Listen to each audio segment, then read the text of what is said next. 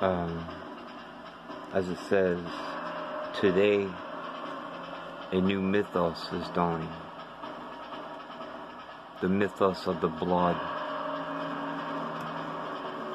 where the godly essence is to be defended through the blood.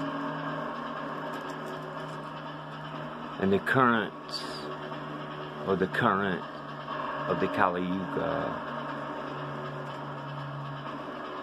is so overwhelming that it's impossible for one man to take it on. And when you're young and you get on the path, you try, but you soon realize that it's going to take more than just you. So, basically, in the Kali Yuga, you want to aim your higher self, your godly self, your astral body, whatnot, upwards and forwards. And upwards and forward does this.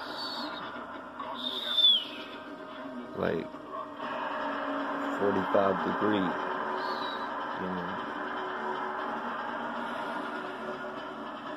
And basically, you don't even have to strain yourself, just like the planets.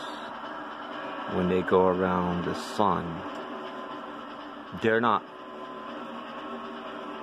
flying around the sun. The sun is pulling them. Basically, the planets just sit in their primordial position and don't strain themselves at all. And this is how we should look at it. There should be no extra strain on the mind or body like that. The secret forces of nature, the divine and the demonic. And demonic doesn't mean uh, what Christians believe with the word demon. Um, that's uh, another misunderstood thing. The daemon is basically your um, your persona, the, like the fire inside of you, um, your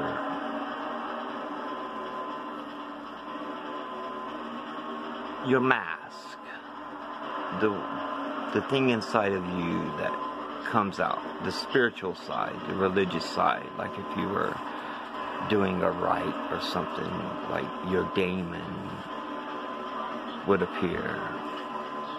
It's almost like a like a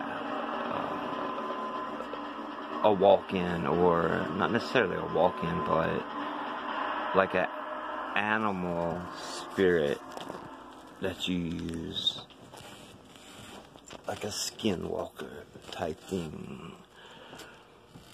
Um, daemon, like of the psyche. But yeah, on the Kali Yuga, so it's, it's a very tough current, and we're in the nadir of it, so you can't fight it. You have to go with it. You have to turn the medicine.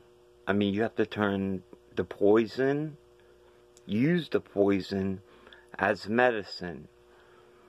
Um, modesty and um, what's that other word with the um, modesty and moderation are two good words to know. And basically, just keep it real. Don't lie to yourself and don't lie to others. There's no reason in this world that someone should lie about anything. So go upwards and forward. do the right thing, fear no one. And speak your mind, and a base man will avoid you.